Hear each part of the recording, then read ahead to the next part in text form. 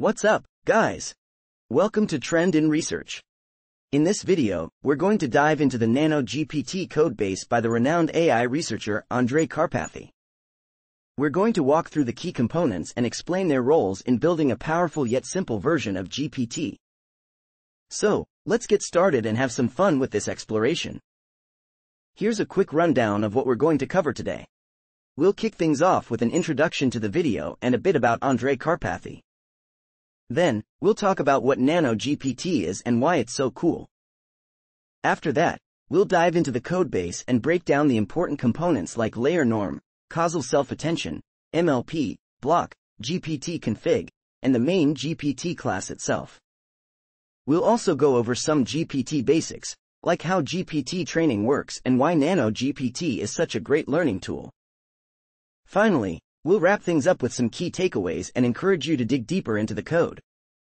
Sounds good? Let's go. So, the main goal of this video is to demystify the Nano GPT codebase by Andrej Karpathy. We know that diving into a new codebase can be a bit daunting, but don't worry, we're here to make it as easy and fun as possible. We'll guide you through the code, explaining each component's role in creating this simplified, educational version of GPT. Trust me, by the end of this, you'll have a much better understanding of how it all works. Alright, let's talk about Andrej Karpathy. This guy is a big deal in the AI world. He's a renowned researcher and educator, and he used to be the director of AI at Tesla. He's made significant contributions to deep learning and computer vision, and he's known for making complex topics accessible to everyone. If you're into AI, he's definitely someone you want to follow.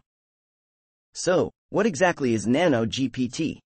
Well, it's a smaller, educational version of GPT, which stands for Generative Pre-trained Transformer.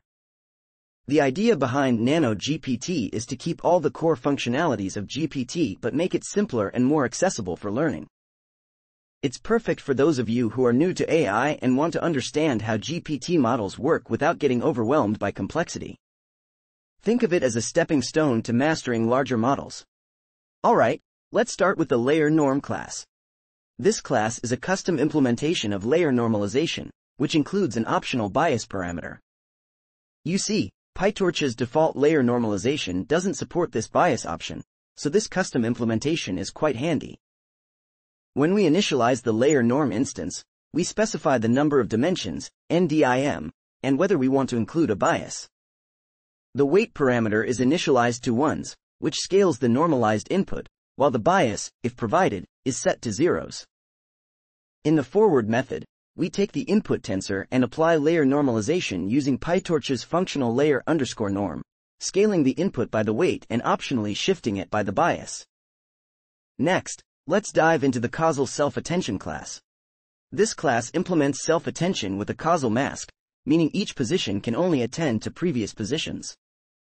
When initializing this class with the given configuration, we first ensure the embedding dimension, n underscore embd, is divisible by the number of attention heads, n underscore head. The C underscore ATTN layer projects the input into query, key, and value vectors, each of size n underscore embd, and can include a bias if needed. The C underscore project layer then projects the attention output back to the original embedding dimension.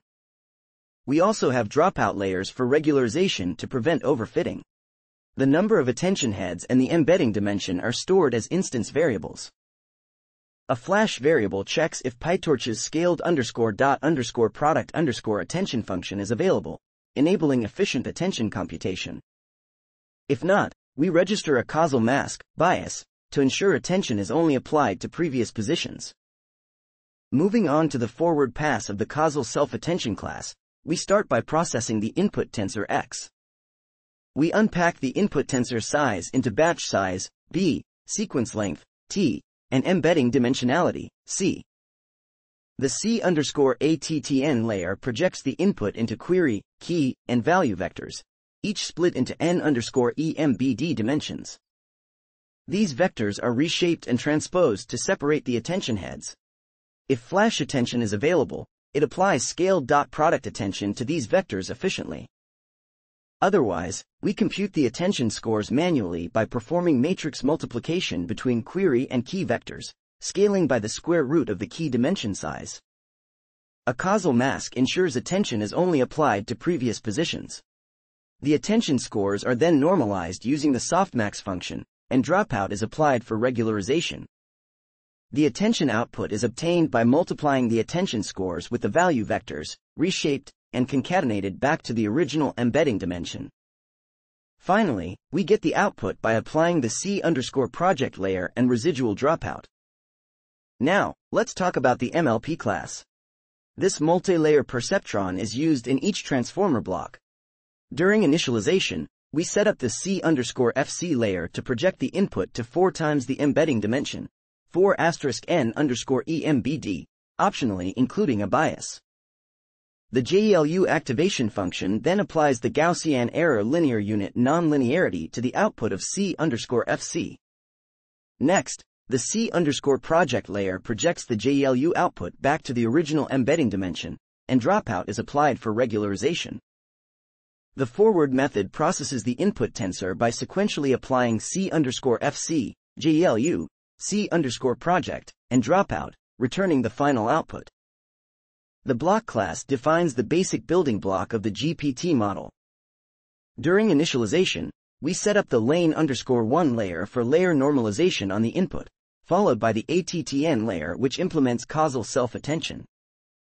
The lane underscore 2 layer then normalizes the output of the attention layer, and the MLP layer applies the multi-layer perceptron to this normalized output. In the forward method, we process the input tensor by sequentially applying lane underscore 1, ATTN, lane underscore 2, and MLP, adding the output of each layer to the input tensor through residual connections, and finally return the output. Next, we have the GPT config class. This is essentially a configuration class for defining the architecture and hyperparameters of the GPT model. Here, block underscore size specifies the maximum sequence length, while vocab underscore size defines the size of the vocabulary. The n underscore layer parameter sets the number of transformer layers, and n underscore head defines the number of attention heads in each self-attention layer. The n underscore EMBD parameter determines the dimensionality of the embeddings. Additionally, the dropout parameter sets the dropout rate for regularization, and the bias parameter specifies whether to include bias terms in linear and layer normalization layers. The GPT class is where we define the main GPT model, combining embedding layers, transformer blocks, and the output layer. During initialization, we make sure vocab underscore size and block underscore size are provided in the configuration. The embedding layers, WTE for token embeddings and WPE for position embeddings, are initialized with the specified vocab underscore size and block underscore size. We then apply dropout to the input embeddings for regularization. The transformer blocks, represented by the H module list, are initialized with instances of the block class. The lane underscore F layer applies final layer normalization, and the LM underscore head layer projects the final layer normalization output to the vocabulary size. Weight tying is used to share weights between the token embeddings and the output projection layer. We initialize all model weights using the underscore init underscore weights method and apply special scaled initialization to the residual projections as described in the GPT-2 paper. The number of parameters in the model is printed for reference. In the GPT class, the get underscore num underscore params method calculates the number of parameters in the model. It takes an optional non underscore embedding parameter, which defaults to true. We start by computing the total number of parameters in the model by summing the number of elements in each parameter tensor. If non underscore embedding is true, we subtract the number of parameters in the position embeddings, WPE, from the total. Finally, we return the total count of parameters. The underscore init underscore weights method is used to initialize the model's weights. For NN, linear modules, the weights are initialized using a normal distribution with a mean of 0 and standard deviation of 0.02, and biases are set to zeros if present. For NN, embedding modules, weights are initialized similarly using a normal distribution. The forward method of the GPT class defines how the model processes input tensors IDX, indices, and optionally targets. We begin by getting the device of the input tensors and unpacking the batch size, B, and sequence length, T, from the input tensor size. An assertion ensures that the sequence length doesn't exceed the block size specified in the configuration. Position indices are generated for the sequence length, and the input indices are converted to token embeddings using the WTE layer. Position embeddings are obtained using the WPE layer, and dropout is applied to the sum of token and position embeddings. The input is then processed sequentially through each transformer block in the H module list. Final layer normalization is applied to the output of the last transformer block. If targets are provided, the LM underscore head layer projects the output to the vocabulary size, and cross-entropy loss is computed between the logits and targets. If targets aren't provided, only the logits for the last position in the sequence are computed. The method returns the logits and the optional loss. The crop underscore block underscore size method in the GPT class allows us to adjust the block size of the model. This method takes the new block underscore size as an argument and ensures that it doesn't exceed the original block size specified in the configuration. The block underscore size in the configuration is updated to the new block underscore size, and the position embeddings, WPE, are cropped accordingly. For each transformer block in the H module list, the causal mask, ATTN, bias, is also cropped to the new block underscore size. The from underscore pre-trained class method is designed to load a pre-trained GPT model. We pass the model underscore type and optional override underscore args as arguments. An assertion ensures the model underscore type is supported. The override underscore args dictionary is initialized to an empty dictionary if not provided, and we assert that only the dropout rate can be overridden. We then import the GPT-2LM head model class from the Transformers library.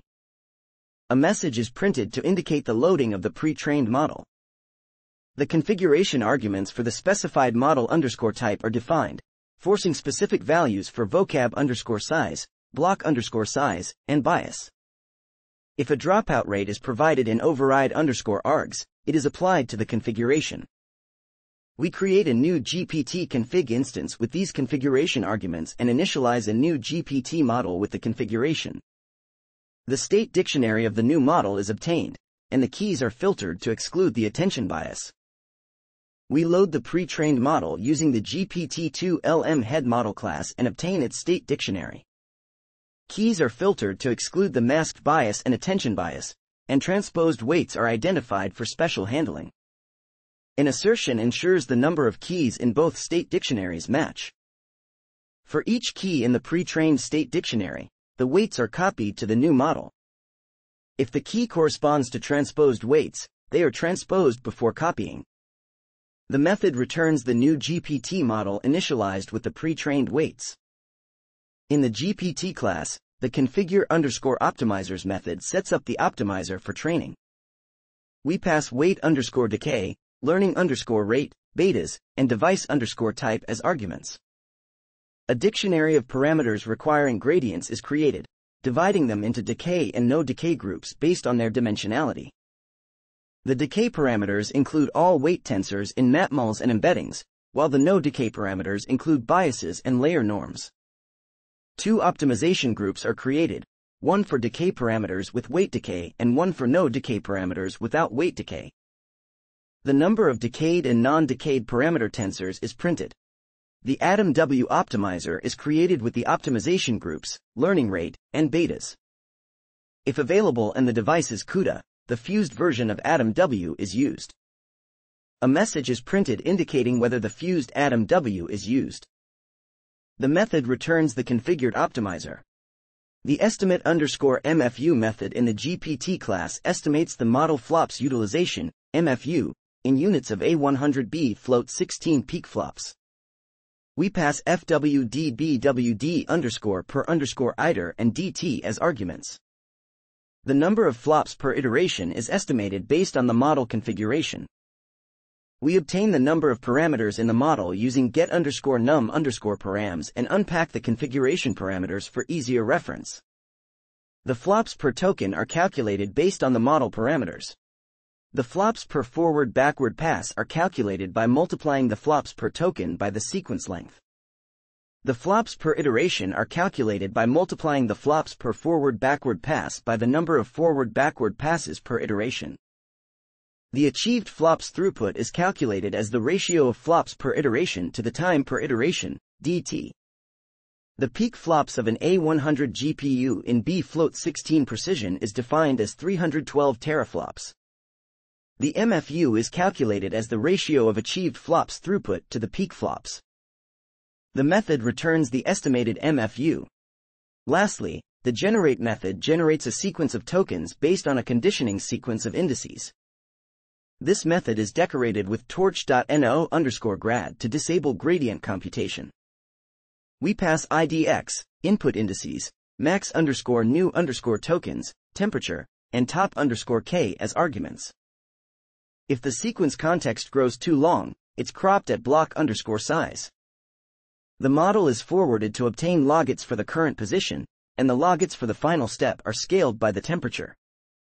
If top underscore K is provided, the logits are cropped to include only the top k options. The logits are converted to probabilities using the softmax function, and a token is sampled from the probability distribution. This sampled token is appended to the running sequence, and the process repeats for the specified number of new tokens. The method returns the generated sequence of tokens. Alright, let's dive into how GPT training actually works. GPT, or Generative Pre-trained Transformer, is trained using unsupervised learning on a massive corpus of text. This means that the model reads through tons of text data and learns to predict the next word in a sentence. It's kind of like teaching a child to read by giving them lots of books and asking them to guess the next word as they go along. Training involves optimizing the model's parameters to minimize the prediction error. Essentially, the model makes a guess, and if it's wrong, it adjusts its internal settings to do better next time. This process is repeated millions of times until the model becomes really good at making predictions. One of the key features of GPT is its use of the transformer architecture, which includes attention mechanisms.